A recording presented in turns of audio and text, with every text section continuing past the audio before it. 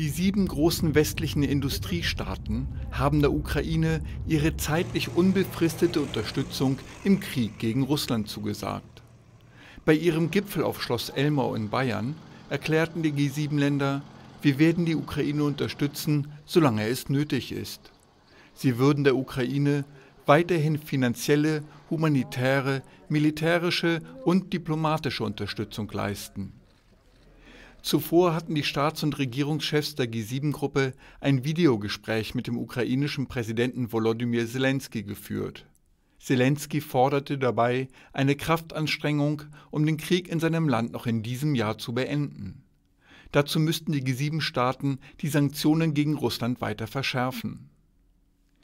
Die G7-Chefs zeigten sich ernsthaft besorgt über die Absicht Russlands, atomwaffenfähige Raketen an seinen Verbündeten Belarus zu liefern. Sie riefen Russland in ihrer Erklärung zu verantwortungsvollem Handeln und zu Zurückhaltung in dieser Angelegenheit auf.